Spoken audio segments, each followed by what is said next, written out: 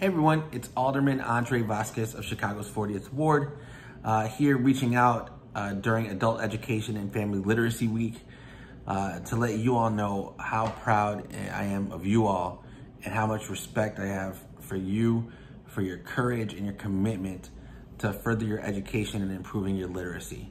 Uh, what we all know is in this city uh, and across the country, not everyone has the same means or starts out in the same place and there are plenty of folks who, you know, through for whatever reason have not been able to get their education and learn how to read.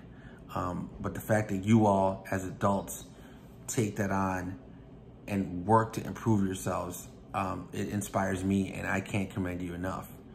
So I wanted to make sure that I reached out, uh, get paid my respects to Chicago Citywide Literacy Coalition, and to each one of you for everything that you do. Um, I want you to know that in the time where you need education, where everything's gone virtual, um, the fact that you're doing this and that you're working to improve yourself is something you should always be proud of.